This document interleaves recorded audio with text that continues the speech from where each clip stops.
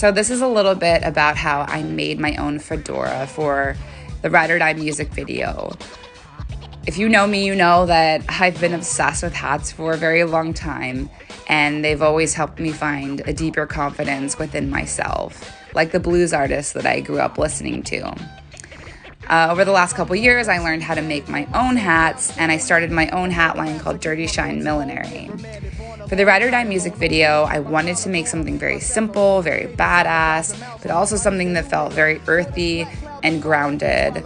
So, this is what I came up with. If you like this hat or anything else from the music video, make sure you head over to my site and check everything out there. Um, I hope you like the hat that I made for the Ride or Die music video.